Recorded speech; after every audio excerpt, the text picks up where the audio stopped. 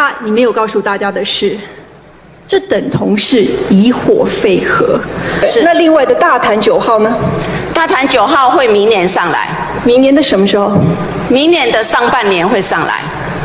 六月以前。对，好，我希望这个在今年夏天要出来的能源供需报告里面，可以诚实的呈现，不要说七月出一个报告，九月没有办法上机，都还放上来，真的是有点夸张啊！你没有告诉大家的是，台湾为什么不缺电？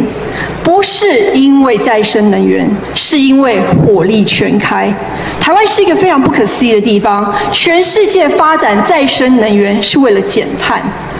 但是我们看到我们的电力排排碳系数，竟然也没有下降哎。五月中大停电以前的波动很明显，小于五月中大停电以后的波动，这有点不切实际。我当时候就怀疑这个数字造假，部长坚持没有造假。我就相信了，结果今年初，我再看了一下我们的备转容量率，非常有趣。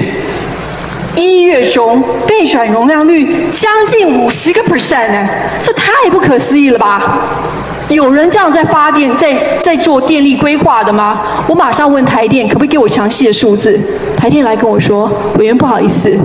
我们栏位放错了，栏位抓错了，实际的数字降压一个 percent 加零点五 percent，我不会要求，因为那是物理现象，那是一些正常的条件。三个 percent 就是缺电，降压三个 percent 的时候谁下台？哎，应该这样讲。这个问题很难回答吗？那这个要么你就回答说我不下台，要么你就回答说我下台。第